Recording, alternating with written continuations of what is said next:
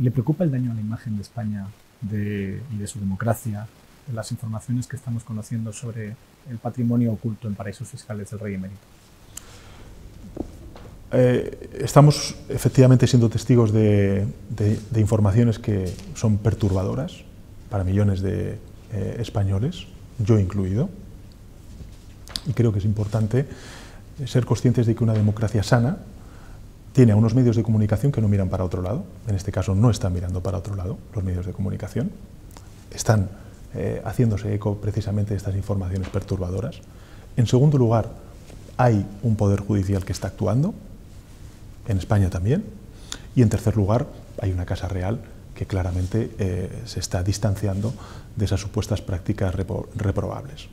Yo creo que eh, estos son los tres elementos que lo que nos hacen es bueno, pues reivindicar que nuestra democracia funciona y que no hay espacio para la impunidad. ¿Pero cree que Felipe VI se juega el futuro de la monarquía en España en función de cómo reaccione ante lo que vamos conociendo del comportamiento del rey emérito? Insisto, no hay espacio para la impunidad en nuestro país. En segundo lugar, es la propia Casa Real la que está marcando distancias con esta eh, supuesta práctica reprobable. Y en tercer lugar, bueno, dejemos trabajar a la justicia. ¿no? Habla de que no hay impunidad en nuestro país, pero en la Constitución española establece la inviolabilidad del rey en, la Constitución. Eh, ¿Esta inviolabilidad debería servir para proteger presuntos delitos de corrupción económica eh, o solo para, los, para aquellas eh, actividades del jefe del Estado en ejercicio de su cargo?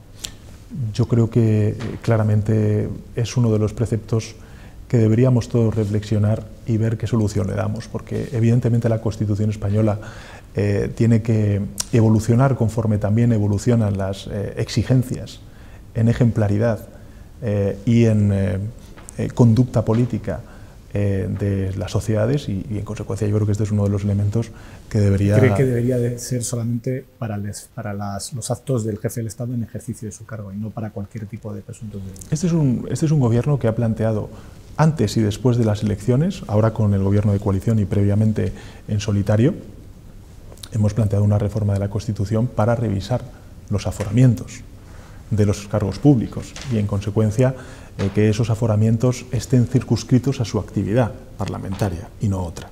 Por tanto, eh, creo que si eso lo defiendo para cualquier cargo público, pues lógicamente también para el jefe del Estado.